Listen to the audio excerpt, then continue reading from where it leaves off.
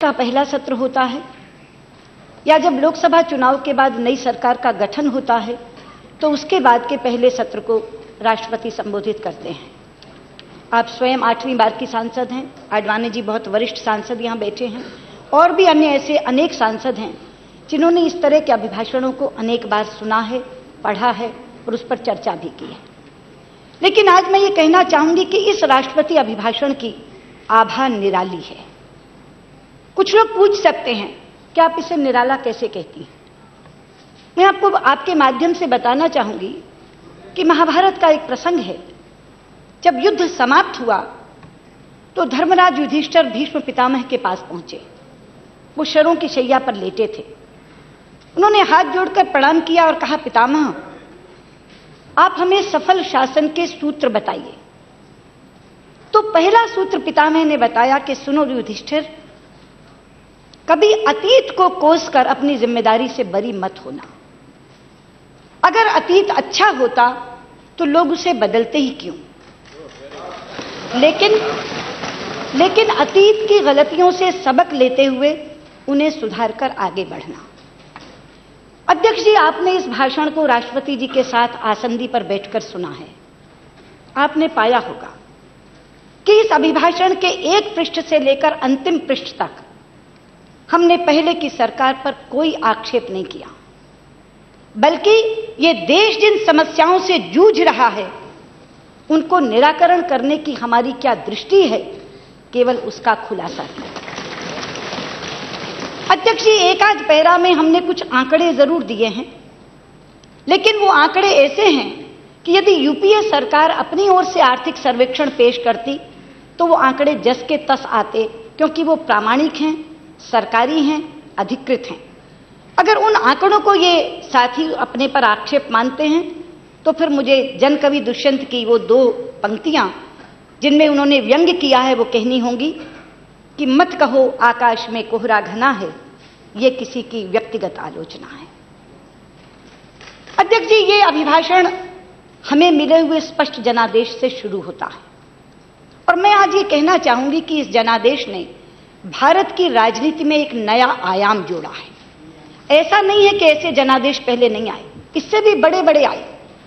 उन्नीस सौ चौरासी में कांग्रेस को 400 से ज़्यादा सीटें मिली। 1980 में भी 300 से ज़्यादा सीटें मिली।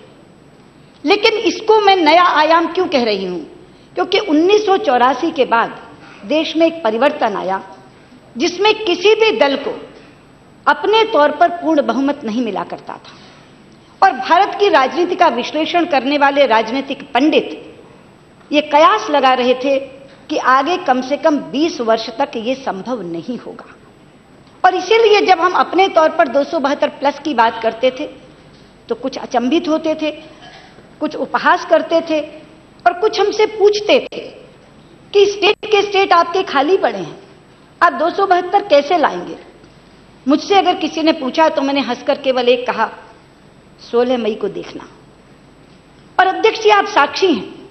जब 16 मई को चुनाव परिणाम आने लगे तो लोगों ने देखा, हिमाचल में चार में चार, उत्तराखंड में पाँच में से पाँच, दिल्ली में सात में से सात, राजस्थान में पच्चीस में से पच्चीस, गुजरात में छब्बीस में से छब्बीस, मध्य प्रदेश में उनतीस में से सत्ताईस, छत्तीसगढ़ में ग्यारह में से दस। और जब उत्तर प्रदेश खुला तो 80 में से तिहत्तर पाते ही भारतीय जनता पार्टी बहुमत का आंकड़ा पार कर गई। दो सौ बयासी सीटें हमें भाजपा के तौर पर मिली और 336 सीटें हमें अपने सहयोगी दल के साथ इसके दो प्रमुख कारण थे। पहला कारण था कि लोगों में सरकार के प्रति गुस्सा था और दूसरा कारण था कि श्री नरेंद्र मोदी के नेतृत्व में भारतीय जनता पार्टी को लोगों ने विकल्प के रूप में स्वीकार कर लिया। और इसीलिए जात पात की दीवारें ढह गई। उम्मीदवार गौण हो गए और लोगों ने लाखों लाख के अंतर से हम लोगों को जिताया। लेकिन आपके माध्यम से मैं कहना चाहूँगी, भाई तारिक अनवर जी को भी, हम जानते हैं, जितनी बड़ी विजय, उतनी बड़ी ज़िम्मेदारी। इसलिए इस विराट जीत को हम विनम्रता के साथ स्वीकार करते हैं। सर में अध्यक्ष जी कहा गया पर खरा उतरना है। और खरा उतरने के लिए ज़रूरी था कि हम पितामह का दूसरा सूत्र सुनते हैं, गलतियों से सबक लेने का। तो वो गलतियाँ क्या थी? इसके लिए हमने उन कारणों की पहचान की, जिसके कारण इस देश में जन आक्रोश उमड़ा था। ऐसे दस कारण हमें दिखाई दिए, अध्यक्ष जी। पहला कारण था महँगाई की मार। दूसरा कारण था घोर भ्रष्टाचार। तीसरा कारण था घोटालों की भरमार। चौथा कारण था किसानों का हाहाकार। पांचवा कारण था बंद कारोबार। छठा कारण था मंद व्यापार। सातवां कारण था युवा बेरोजगार। आठवां कारण था किसानों से, महिलाओं से दुराचार। और नौवां कारण था संस्थाओं से दुर्व्यवहार। और दसवां कारण था, अध्यक्ष जी, सैनिकों के साथ सीमा पर अत्याचार। इन दस कारणों को जब हमने चिन्हित किया तो हमने कहा कि एक एक कारण का हम संज्ञान लेंगे और इस अभिभाषण में ये बताएँगे कि हम इन कारणों को कैसे समाप्त करना चाहते हैं। और मुझे खुशी है कि हमने एक एक का संज्ञान लिया। महँगाई की मार का संज्ञान हमने लिया अभिभाषण के पैरा आठ में। और हमने दो बातें कही। पहला खाद्य पदार्थों की कीमतों को बढ़ने से रोकना मेरी सरकार की सर्वोच्च प्राथमिकता होगी। और दूसरा, मेरी सरकार जमाखोरी और कालाबाजारी को रोकने के लिए प्रभावी कदम उठाएगी। यानी अपनी प्राथमिकता तय करते समय उस आम आदमी और उस आम औरत को, जिसकी रसोई पर मार पड़ती थी, हमने अपनी प्राथमिकताओं में सबसे ऊपर रखा और उसको खत्म करने के उपाय के रूप में कालाबाजारी और जमाखोरी दोनों को रोकने के प्रभावी कदम का ज़िक्र किया। दूसरा कारण मैंने बताया, घोर भ्रष्टाचार। पैरा तेईस में हमने उसका ज़िक्र किया। मेरी सरकार देश को भ्रष्टाचार और काले धन जैसी बुराई से छुटकारा दिलाने के लिए कृत संकल्प है। इस दिशा में पहले कदम के रूप में विदेशों में जमा काले धन का पता लगाने के लिए सरकार ने विशेष जाँच दल का गठन कर दिया है। विदेशी सरकारों के साथ सक्रिय रूप से कार्य करते हुए इस पर ठोस कार्रवाई की जाएगी। यानी भ्रष्टाचार को समाप्त करने का संकल्प भी दिखाया और जो काम किया है, उसका उल्लेख भी किया। तीसरा मैंने कहा था घोटालों की भरमार। उसका संज्ञान हमने पैरा 21 में दिया। मेरी सरकार एक साफ़ सुथरा और कुशल प्रशासन प्रदान करने के लिए कृत संकल्प है।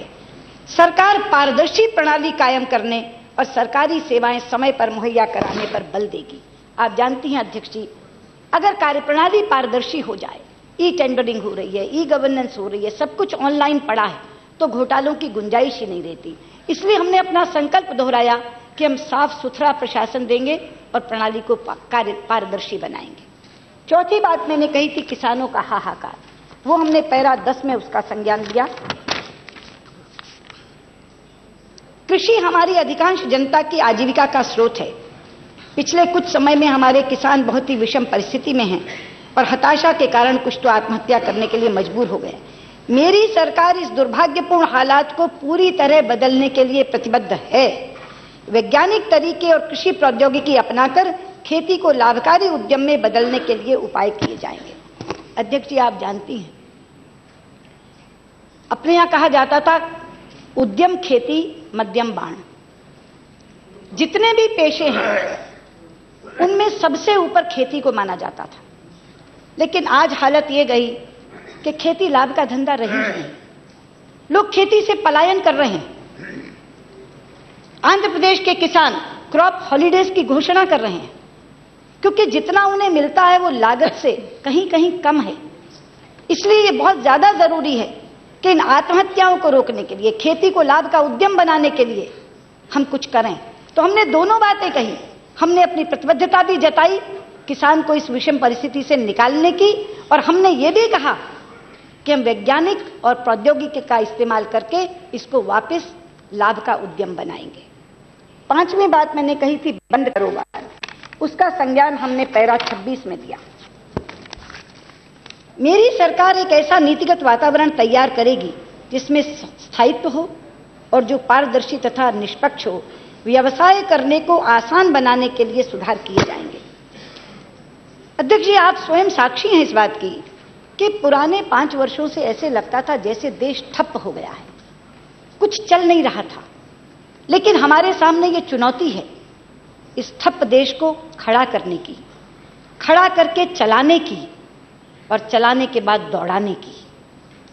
और मुझे खुशी है कि जो तीन मंत्र हमारे प्रधानमंत्री ने रखे, स्किल, स्केल और स्पीड, जिसका ज़िक्र इसमें भी आया है, उसके माध्यम से हम इस देश को खड़ा भी करेंगे, चलाएँगे भी और बहुत जल्दी दौड़ाएँगे भी, इसका एक अभिप्राय इस अभिभाषण में दिया गया। पांचवा मैंने कहा था मंद व्यापार, उसका संज्ञान हमने पैरा उनतीस में दिया है। वैश्विक व्यापार में अपनी भागीदारी को बढ़ाने के लिए कार्य पद्धतियों को सरल बनाया जाएगा और व्यापार ढांचा मज़बूत किया जाएगा ताकि कारोबार संचालन समय तथा लागत में कमी लाई जा सके। आप जानती हैं अध्यक्ष जी के व्यापार का सीधा रिश्ता किसान की खुशहाली से होता है और व्यापार का सीधा रिश्ता उद्यमी की खुशहाली से होता है। अगर आपका मैन्युफैक्चरिंग सेक्टर खुश है तो व्यापार खुश है। अगर किसान की जेब में पैसा है तो व्यापार खुश है।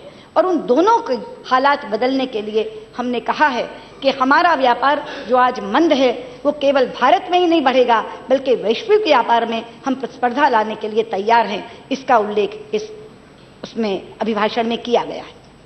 सातवां मैंने कहा था युवा बेरोजगार। उसका संज्ञान हमने इसके पैरा बारह में हमने कहा है कि मेरी सरकार केवल युवा विकास की संकल्पना की बजाय युवा संचालित विकास व्यवस्था प्रदान करेगी। और हमने कहा है कि मेरी सरकार हर हाथ को हुनर के उद्देश्य से औपचारिक शिक्षा और कौशल विकास के बीच की बाधाओं को दूर करने का प्रयास करेगी। मेरी सरकार हुनरमंद भारत के लक्ष्य से national multi skill skill mission भी शुरू करेगी। आप जानती हैं कि बेरोजगारी केवल सरकारी नौकरियों से दूर नहीं हो सकती। उसके लिए हमारे योजन में कौशल का विकास करने की बहुत आवश्यकता है। और इसीलिए हमने नाम दिया कि भारत जाना जाएगा एक हुनरमंद भारत। और बहुत बार पढ़ाई इसके आड़े आती है। इसलिए हमने कहा कि वो जो बीच का अंतर है, हम उसको भी खत्म करेंगे। लेकिन एक मल्टी स्किल मिशन हम लागू करेंगे, जिसमें हम अपने युवाओं में और युवा प्रतिभाओं में तरह तरह के कौशल का विकास कर सकें, ताकि स्वरोजगारी होकर के वो आत्मसम्मान से ज़िंदगी जी सके। ये हमारा अभिप्राय इस अभिभाषण में है। आठवीं बात मैंने कही थी, महिलाओं से दुराचार। उसका संज्ञान हमने पैरा 19 में लिया।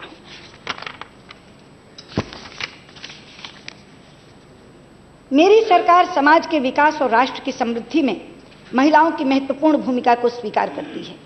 वो संसद और राज्य विधानसभाओं में महिलाओं को 33 प्रतिशत आरक्षण उपलब्ध कराने के लिए वचनबद्ध है। बेटी बचाओ और बेटी पढ़ाओ की प्रतिबद्धता के साथ मेरी सरकार बालिका को बचाना और उसकी शिक्षा के लिए व्यापक जन अभियान आरंभ करेगी। मेरी सरकार महिलाओं के विरुद्ध हिंसा को बिल्कुल सहन नहीं करने की नीति अपनाएगी और उसके प्रभावी कार्यान्वयन के लिए दांडिक न्याय प्रणाली को समुचित रूप से मज़बूत किया जाएगा। अध्यक्ष जी, मैंने इस बात को बार बार कहा है कि यदि हम महिला का उत्थान चाहते हैं और उसका कल्याण चाहते हैं तो चार चीज़ें ज़रूरी हैं। शिक्षा, सुरक्षा, आर्थिक स्वावलंबन और राजनीतिक सशक्तिकरण। जहाँ तक शिक्षा का सवाल है हमने कहा है, बेटी पढ़ाओ, ये एक अभियान बनेगा हमारे लिए। जहाँ तक सुरक्षा का सवाल है, हमने कहा है zero tolerance against women's violence हमने ज़ीरो टॉलरेंस का कहा है, हिंसा को बिल्कुल सहन नहीं करेगी ज़ीरो टॉलरेंस की नीति अपनाएगी। जहाँ तक सुरक्षा का सवाल है। आर्थिक स्वावलंबन के लिए हमने यहाँ कहा है कि वो देश के विकास में बराबर की भागीदार होगी। और जहाँ तक राजनीतिक सशक्तिकरण का ताल्लुक है, हमने 33 प्रतिशत आरक्षण की बात की। अध्यक्ष जी महिला सशक्तिकरण की बात तो बहुत पार्टियाँ करती हैं, लेकिन हमने पिछले एक महीने में इसको कर दिखाया है। गुजरात में मुख्यमंत्री का पद खाली हुआ, हमने एक महिला मुख्यमंत्री को वो पद दिया। हमारी कैबिनेट बनी, तेईस कैबिनेट मंत्रियों में से छह कैबिनेट मंत्री, यानी 25 प्रतिशत का हिस्सा हमने महिलाओं को दिया। एक महिला ने यह स्पीकर का पद खाली किया हमने आप जैसे गरिमामय व्यक्तित्व को इस पर सुशोभित किया। इसलिए मैं कहना चाहती हूँ कि कहना और करना एक अलग चीज़ है। हमने अगर यहाँ तैतीस फ़ीसदी आरक्षण की बात की है तो मैं ये कहना चाहती हूँ, इस समय सोनिया जी नहीं बैठी और खड़गे जी बैठे हैं। खड़गे जी, आपकी पार्टी ये विधेयक राज्यसभा में लेकर आई थी और हमने समर्थन किया था। मैं आपसे आश्वासन चाहती हूँ कि जब मेरी पार्टी इस विधेयक को यहाँ लेकर आए तो आप समर्थन करें। क्योंकि मेरा ये निश्चित तौर पर मानना है, आप सारे काम कर दें लेकिन अगर महिला को राजनीतिक रूप से आप सशक्त नहीं करेंगे तो आपकी बारी क्षमताएँ भी कम हो जाएँगी। इसलिए 33 प्रतिशत का आरक्षण का विधेयक पास करने वाली ये सोलहवीं लोकसभा होनी चाहिए। बहुत सी लोकसभाएँ किसी न किसी मील के पत्थर विधेयक के लिए जानी जाती हैं और ये सोलहवीं लोकसभा मील का पत्थर विधेयक महिला आरक्षण का पारित करे, इसके लिए मैं तमाम साथियों से निवेदन करती हूँ, क्योंकि जितने इधर बैठे हैं, ये सब अलग अलग से कह चुके हैं कि महिला आरक्षण के पक्ष में है। तो हमने जो करके दिखाया है, ये भी हम करके दिखाएँगे कि सोलहवीं विधानसभा में महिला आरक्षण विधेयक प्राप्त पारित करा के हम 33 प्रतिशत का आरक्षण संसद और विधानसभाओं में उन्हें देने का काम बहुत धन्यवाद। नौवीं बात मैंने कही थी, संस्थाओं से दुर्व्यवहार। उसका संज्ञान हमने पैरा 20 में दिया है। भारत संघीय व्यवस्था वाला देश है। परंतु काफ़ी वर्षों से इसकी संघीय भावना को कमज़ोर किया गया है। राज्यों और केंद्र को सामंजस्यपूर्ण टीम इंडिया के रूप में काम करना चाहिए। राष्ट्रीय मुद्दों पर राज्यों के साथ सक्रियता से कार्य करने के लिए मेरी सरकार, राष्ट्रीय विकास परिषद, अंतर्राज्यीय परिषद जैसे मंचों को पुनः सशक्त बनाएगी। अध्यक्ष जी, संघीय ढांचा इस देश के संविधान का मूल प्राण है। इसी तरह से संस्थाएँ सीवीसी सीएजी सीबीआई ये वो लोकतंत्र के खंबे हैं जिन्हें निष्पक्षता से काम करने का अधिकार होना चाहिए। और संघ और राज्यों के बीच में टकराव इस देश के लोकतंत्र के लिए बिल्कुल भी अच्छा नहीं है। इसलिए हमने कहा है कि ये जो परिषदें बनी हैं, हम इनका पुनर्गठन करेंगे और इनको एक सशक्त टीम इंडिया के रूप में खड़ा करेंगे। दसवां बिंदु मैंने कहा था, सैनिकों के साथ अत्याचार। उसका संज्ञान हमने पैरा बयालीस में दिया है।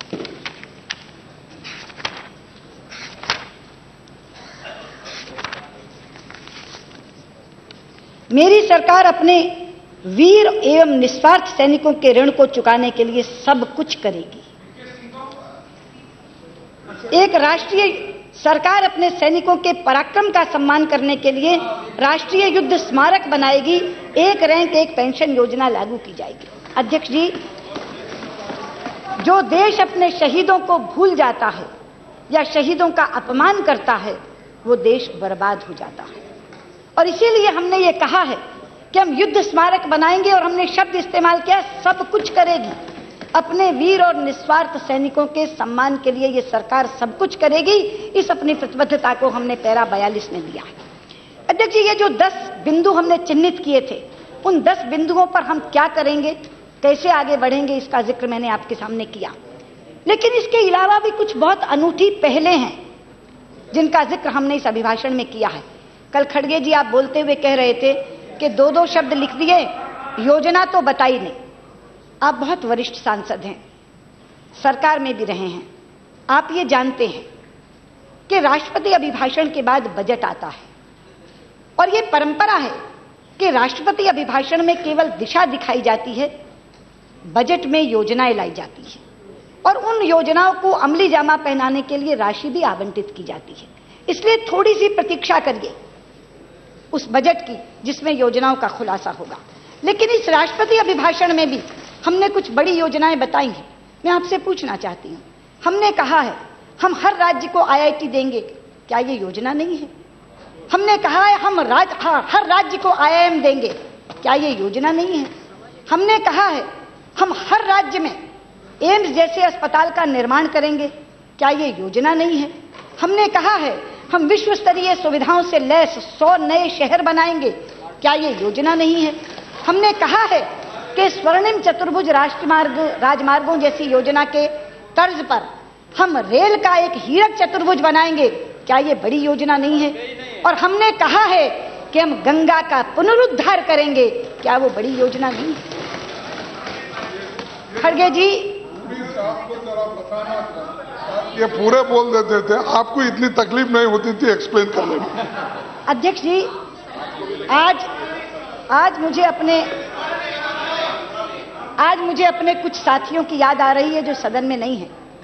समाजवादी पार्टी के रेवती रमन सिंह, वामपंथी प्रबोध पांडा और मेरे साथी शाहनवाज हुसैन।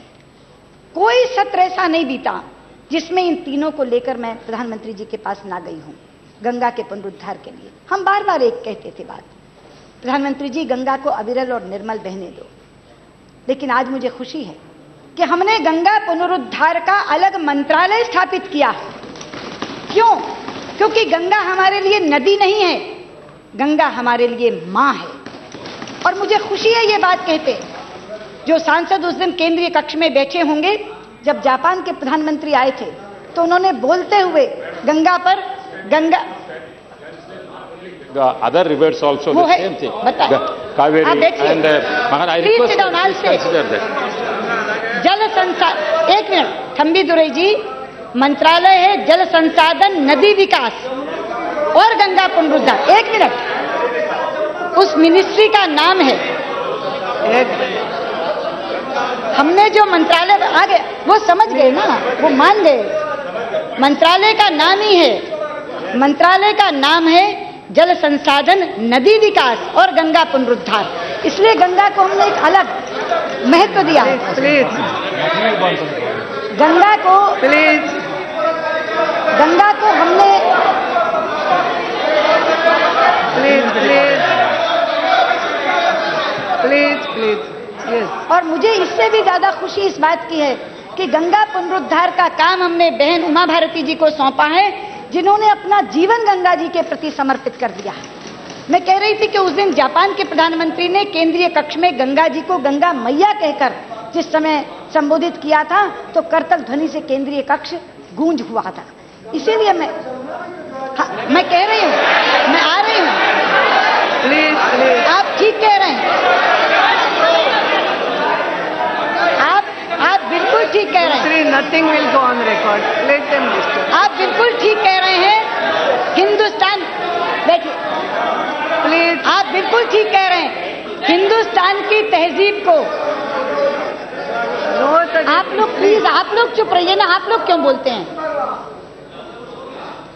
हिंदुस्तान की तहजीब को गंगा जमुनी तहजीब कहा जाता है? इसलिए मैं बिल्कुल सही आपने बात कही है।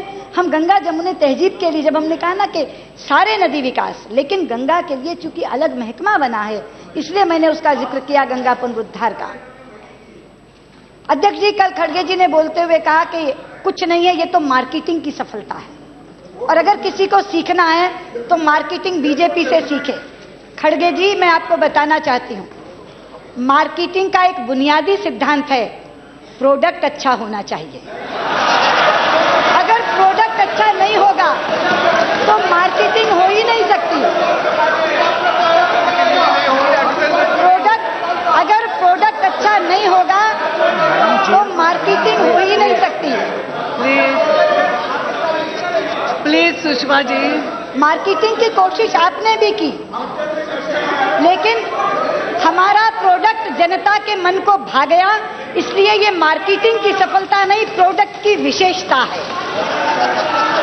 अध्यक्ष जी